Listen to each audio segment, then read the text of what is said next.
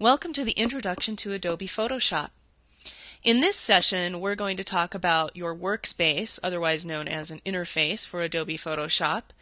We'll talk about your toolbar, the tool options panel, floating panels, customizing your workspace, and the image window. We'll select tools, we'll find hidden tools. We're going to talk about adjusting tools using your tool options bar opening and closing floating panels, moving them around, customizing a workspace, and opening a file. If all of these elements are familiar to you, and if you have experience working with Adobe Photoshop, you may want to go ahead and skip this introduction. Otherwise, it's pretty exciting, and I know some of you have been waiting a long time to learn Photoshop. It may have been on your to do list for quite some time. So, let's get started. As we look at this entire area, it's known as the Adobe Photoshop Workspace. We have our main menu across the top, a Workspace menu here, a Tools Options panel going along here, which is related to your toolbar located on the left side. Your image window is located here in the center and your floating panels are located typically on the right side. Now, many of you are going to have a different look and feel to your workspace than I do. I'm working in a Macintosh environment. Um, and my panels, because they are customizable, can expand and contract. My panels are going to look different from your panels. Um, a good place to start, though, is using the Essentials workspace. That's the default workspace. That's where we'll begin. Um, but just knowing that some of your panels will look different from mine is okay. It's not a problem. We're going to learn how to adjust the panels and make it a more comfortable working environment for you. Let's start off by talking about your Tools panel located on the left side of the image window.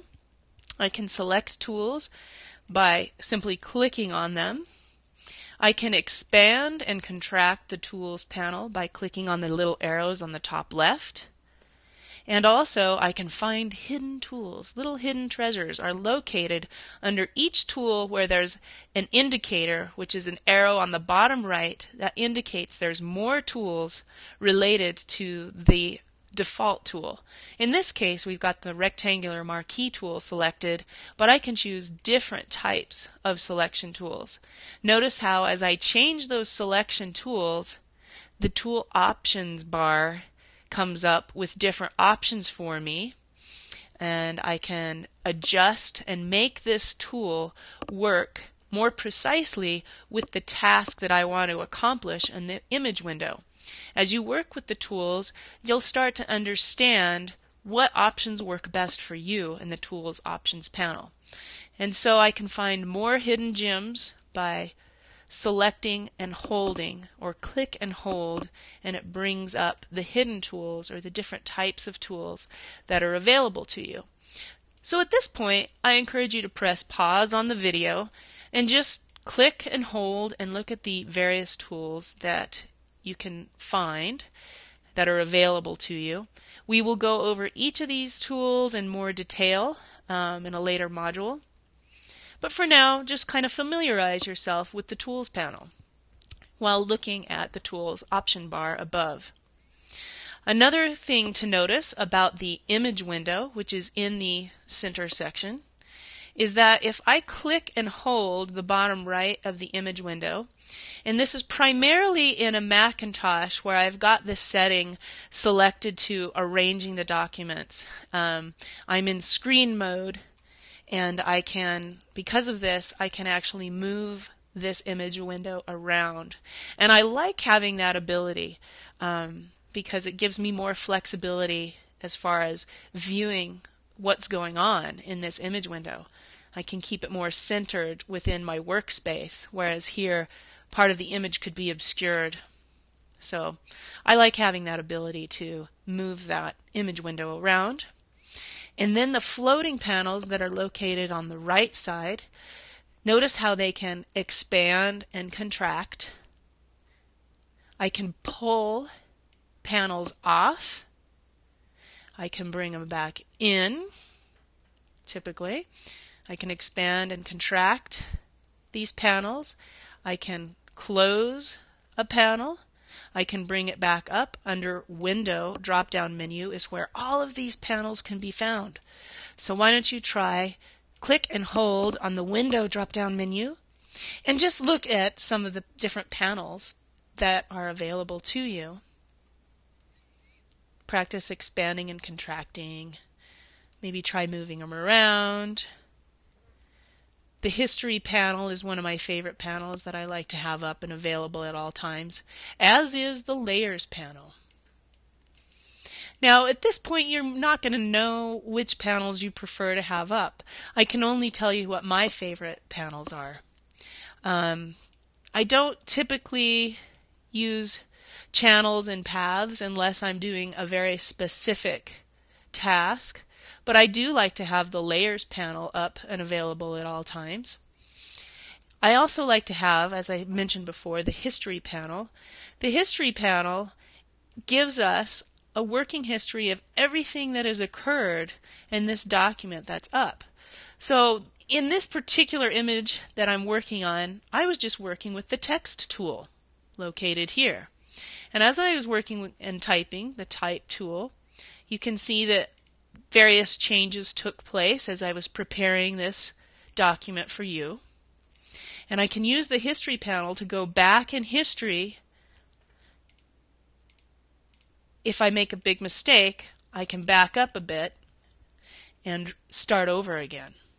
So that's a very important thing, especially when you get into editing images you might need to back up a few steps. So that's why I like to have the history panel up.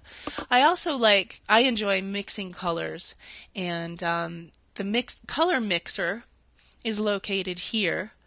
And notice how in the floating panels there's a very small and obscure drop down menu that's located in the top right of the panel. Now, I'm not really sure whose grand idea it was to hide this little drop down menu here. It's sort of hard to see and that's been in later versions since CS3. But if I use this drop down menu, you can see that I can select from a number of color sliders that allow me to change hue, saturation, and and brightness, um, the amount of red, green, and blue light that is reflected, and I can mix colors here. And notice how the colors that are mixed here, this is the foreground, this is called the background color, are also related to the tools panel, foreground and background, and I can toggle between foreground and background. So I also like to have the color panel and the swatches panel available as I work. Now, once you get a few panels up that you like, maybe you decide that you're interested in text editing, you can go under Window and you can bring up some of the text panels, including character. Notice when I opened up the character text panel, it brings up also paragraph. And that's because Photoshop groups panels by um, similar types of panels. Things that are related to text editing are automatically grouped together by default. I like to have um, I like to have these panels up and available too in some cases when I'm creating, for example, a web page. Um, and I like to have like sample text, um, button text, things of that nature. I like to have these text panels available. So if I've got a workspace that I'm pretty happy with, and I've arranged my panels in such a way so that I can still see my little image window and I can still expand and, and, contract my panels. Once I get fairly comfortable with this workspace that I like, I can actually save a workspace so that I can come back to it again at a later date. And that's under Window, Workspace, New Workspace. And here's where I can save my workspace. I'm just going to call it my workspace for this example. You can call it whatever you'd like and I'm going to hit save.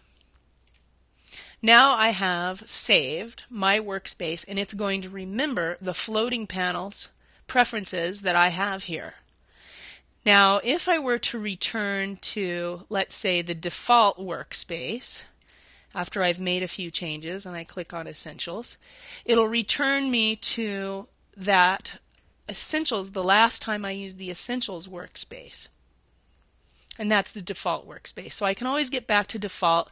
I can also get to different types of workspaces like the design workspace, which is more concerned with type editing and uh, different types of brushes.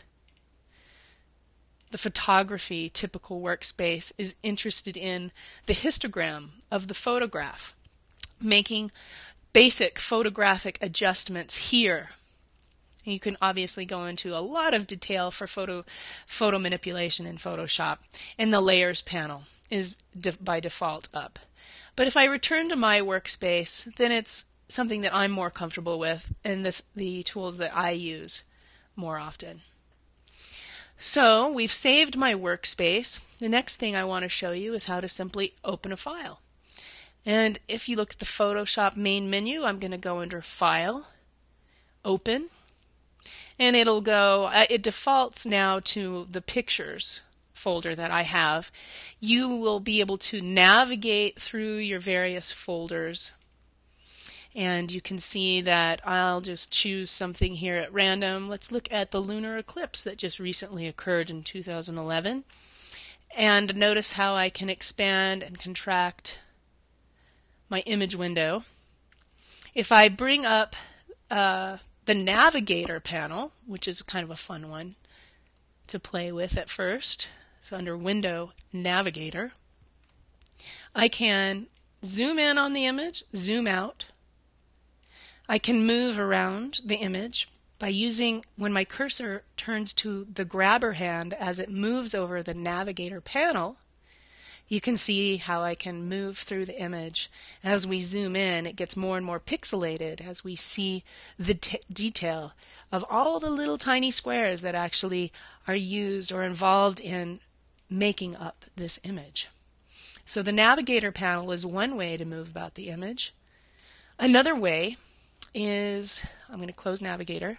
Another way is to use your magnifying tool. If I use the zoom tool, I click on it in my tools panel. Notice how I have it's right now set to the minus. You see how the little minus sign is in the middle of the zoom tool. I can switch in my options panel for that tool back and forth to the plus so I can zoom in or minus so I can zoom back out. I can also use a quick key on my keyboard, which is the Alt key. When I press the Alt key on the keyboard, it also changes that zoom tool from plus to minus. And so that's a time saver because I like to zoom in and out quickly and easily and look at sections of the image. And so using that Alt key on my keyboard saves me time from having to actually go up to the panel, click, and then it just saves me a step. So those are just a few things I'd like you to play with and get to know the Adobe Photoshop interface. Please let me know if you have any questions and enjoy. Have fun.